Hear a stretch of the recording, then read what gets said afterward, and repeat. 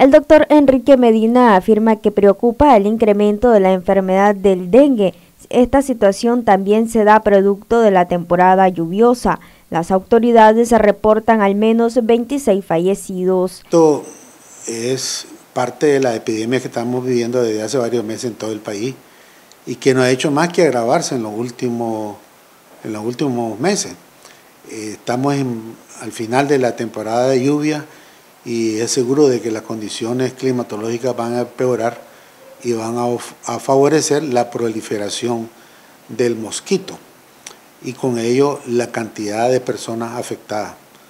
Es impresionante la, cantidad de personas enfermas a lo largo y ancho de todo el país que tienen ahorita en jaque a las autoridades eh, en el sentido de que todos los recursos están destinados a la atención de estas personas. Ante esta temporada de lluvia, Medina insta a la población a limpiar sus hogares, entre otras recomendaciones. Personas que por alguna razón, oiga bien lo que le digo, por alguna razón presentan fiebre de gran intensidad, de manera abrupta, con ese dolor en los huesos, un mal estado general, que tiene un poquito de secreción, una tosecita, que no le den mucha vuelta, que no se estén automedicando, tomando un jarabito, tomando un tecito, tomando una hierbita, que vayan a la unidad de salud más cercana para que sean atendidos, porque definitivamente la atención precoz cambia totalmente todo.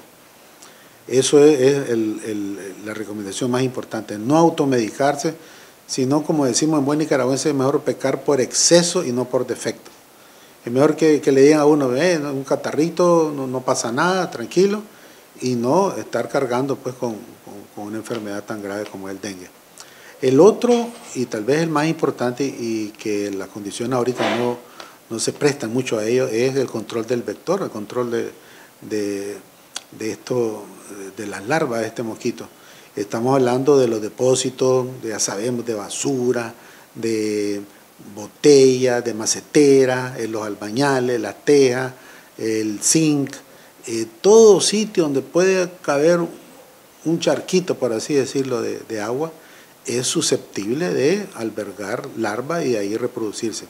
Acordemos que el comportamiento de este mosquito es urbano. Entonces, Noticias 12, Darlene Telles.